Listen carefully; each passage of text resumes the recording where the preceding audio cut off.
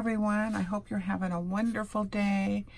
It's about 9.48 here. Larry's getting ready for his appointment at the Loma Linda ALS Clinic. I am actually staying home today because that's about an eight-hour appointment for him.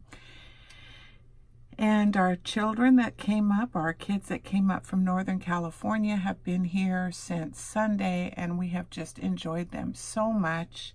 They're at Disneyland uh, for the next three days. And then on my birthday, Saturday, we'll be taking them uh, to SeaWorld in San Diego. We won't be going to Disneyland. It's just a little bit too hot there. It's in the 90s. So we had a blast yesterday. We left the house here about 10.30 in the morning and went to Knott's Berry Farm. We didn't get home. I guess we left about 11.30. We didn't get home until about 10.30 last night. So we had a full, full, wonderful, wonderful day. And they'll be back here on Thursday evening. And they'll be here Thursday, Friday, and then all day at SeaWorld uh, on my birthday Saturday. And then they'll be headed back home on uh, Sunday. So we've just had a wonderful time with them. And that's with uh, our son Brian Vines and his beautiful wife, who we just absolutely adore, Melissa, and our granddaughter Bianca, and our little baby grandson Braden, who just turned nine months old.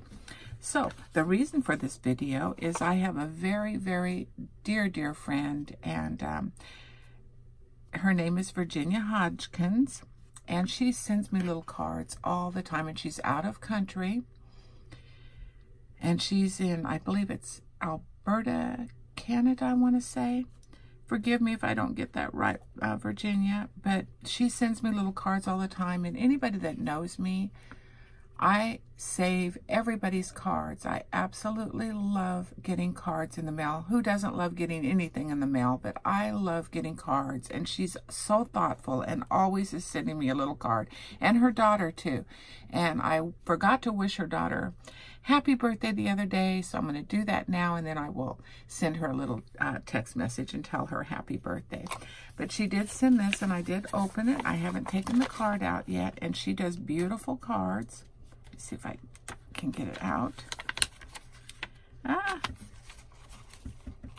there we go. Oh, it's beautiful. Wow. Now, she hand stamps all of this.